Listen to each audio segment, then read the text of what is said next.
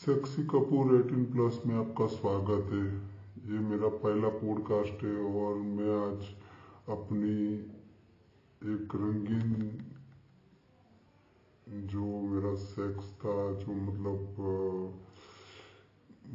नहीं होना चाहिए था और हो गया था तो उसके बारे में मैं आप बात करने वाला हूँ।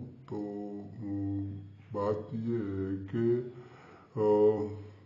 मैं अपने घर से तैयार होकर निकला था और मैं एक नाई नाई की दुकान पर गया और नाई की दुकान पर जब मैंने सेविंग वगैरह जो करा दी, कराने के बाद फिर मैं वहाँ मेरी दुकान मतलब नाई की दुकान के बाहर खड़ा था और बाहर खड़ा था तभी मैं इसे देख रहा था ऊपर नीचे कहीं भी और तीसरे माले पे मेरी नज़र चलेगी और एक औरत मतलब एक भाभी थी, जो मुझे देख रही थी।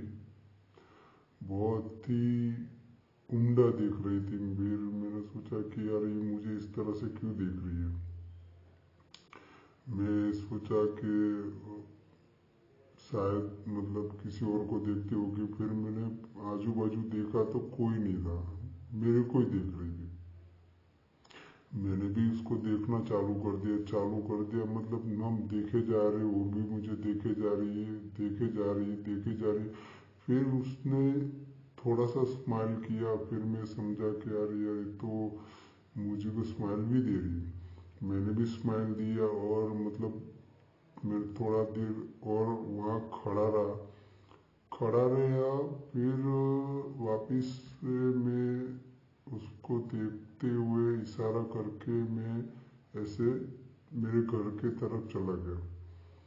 तो मेरे घर से मेरे घर पर मैं जैसे जाता था, जा रहा था तो पीछे तुरंत वो तीसरे माले से उतरी और पीछे के रास्ते से जो मेरा घर था ना, उसके तीसरे माले पर चली गई और मेरा घर था दूसरे माले पे। और एक ये था कि हमारा जो अपार्टमेंट था, जो उसका जो मतलब टॉयलेट था ना, वो दादर में था, घर में नहीं था। तो मेरा दूसरे माले में मेरा टॉयलेट था और वो जैसे ऊपर से आई, तीसरे माले से उतरी और मैं डायरेक्ट दूसरा माला चढ़ा और तो दादर में मुलाकात हो गई। अब मैंने उससे कभी बात नहीं की थी। Hi hello friend thank you कुछ भी नहीं था और क्या सोचूं, क्या बोलूँ, क्या बात करूँ, मुझे कुछ पता नहीं था।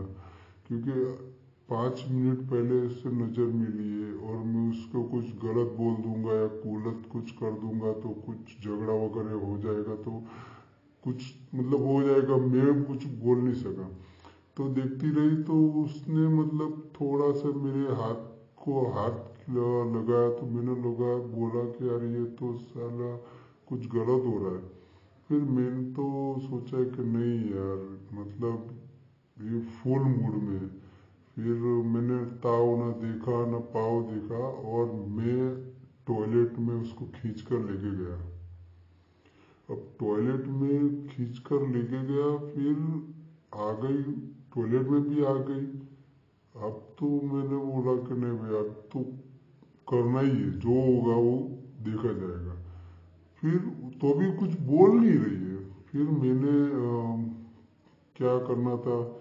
फिर मैंने उसकी साड़ी भी ऊँची की और मैंने अपने कपड़े निकाले और मैंने सेक्स किया। और मैं सेक्स कर रहा था तभी भी वो कुछ बोल नहीं रही थी। कुछ भी नहीं बोल रही थी। मैंने सोचा कि डर के बारे में डर, डरती होगी तो नहीं बोलती होगी। बाहर कोई उसका आवाज़ सुन लेगा तो उसको बोलेगा भी क्या कर रही है, क्या है? तो मैंने चलो, जाने दो भाई, मुझे तो अपना काम करना है। तो मैंने तो अपना काम एकदम मस्त, एकदम काम किया और थोड़ा सा ऐसा दरवाज़ा खोल के देखा। मैंने बोला, कोई नहीं, तू निकल। तो तुरंत वो निकल गई और चली गई और फिर मैं अपने घर पे चला गया और फिर ऐसे ही चलता रहा टॉयलेट के अंदर आना जाना, बाहर। फिर मेरे घर पे अगर कोई नहीं था तो मैं अपने घर पे भी बुला लेता था। जैसे मतलब चार पाँच दिन कंटिन्यू चला रहा। फिर एक दिन ये हुआ कि मैं वापस नाई की दुकान पर गया।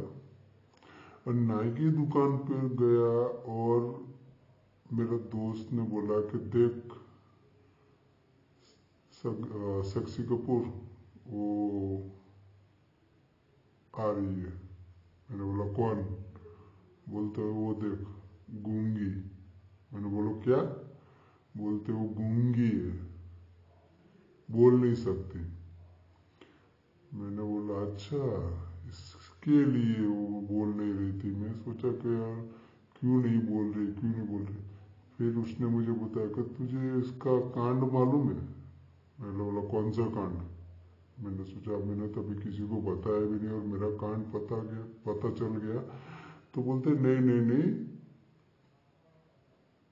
इसका कांड ये है, सेक्सी बोलता है, पूरी सोसाइटी के अंदर ऐसा कोई इंसान नहीं होगा कि इस गुंगी के साथ इसने सेक्स नहीं किया होगा।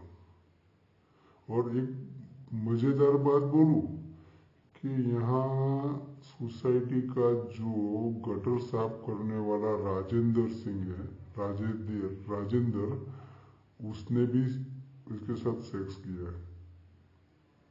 मतलब मैंने बोला कि तूने भी किया होगा, अरे पूरा सोसाइटी में मैं भी आ गया। और बाद में मुझे बोलता कि तूने किया। मैंने बोला, ना ना, मैं तो तुझे मालूम पड़ा तभी बोला। मालूम पड़ा तभी मुझे तो मैं तो मतलब इसको ना बोला, मगर तभी जाके मुझे मालूम पड़ा कि पूरी सोसाइटी के अंदर ऐसा कोई आदमी नहीं था। अगल बगल आए बाय ऊपर पहला माल, दूसरा माल, के पूरा सोसाइटी में ऐसा कोई इंसान नहीं था कि इसके साथ सेक्स नहीं किया होगा।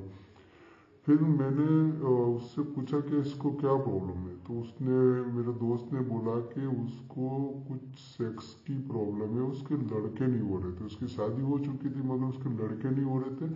उसको सेक्स इतना पसंद था, इतना पसंद था कि वो कोई भी मतलब सेक्स करने के लिए तैयार थी। कोई भी एक्स वाई जेड उससे कोई मतलब ही नहीं है कौन उस पर काम कर रहा है। फिर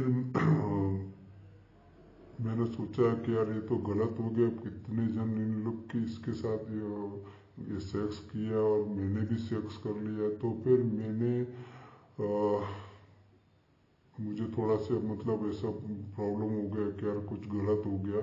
फिर मैं डायरेक्ट हॉस्पिटल चला गया। हॉस्पिटल चला जाने के बाद मैंने अपना एड्स के रिपोर्ट निकालवाए और दो दिन के बाद मेरा रिपोर्ट आया और भगवान की मेहरबानी कि मुझे कुछ भी नहीं था, मेरा रिपोर्ट अच्छा था, मगर वो हादसा मेरे साथ होते होते रह गया और ये हादसा आपके साथ ना हो। बस ऐसी दुआ चाहता हूँ और अगर कोई ऐसा अगर कोई है तो अपनी सेफ्टी कॉन्डम पहनना ज़रूरी है। और जिस दिन ने आपने कॉन्डम नहीं पहना तो बहुत से ऐसे हादसे हो जाते हैं जो नहीं होने चाहिए। तो संयमी रखिए आप और अपनी आ, अपनी बोलते हैं ना क्या बोलते हैं उसको कि अपना शरीर का ध्यान अपनों को रखना है। अगर हमें एड्स हो जाएगा तो हम मतलब मौत के बहुत करीब आ जाएँगे और सेक्स तो मतलब हम पूरी ज़िंदगी करने वाले मगर उस टाइम मेरा शादी नहीं हुआ था, इसके लिए मुझे बहुत ऐसा मतलब था कि मैं सेक्स करूँ सेक्स करूँ, क्योंकि मेरी उम्र भी कुछ बीस बाईस साल थी। तो अगर ये एपिसोड अगर आपको अच्छा लगा है तो मेरी चैनल को लाइक शेयर एंड सब्सक्राइब करिए। मेरी चैनल का नाम है सेक्सी कबूर एटीन प्लस पॉडकास्ट तो प्लीज़ थैंक यू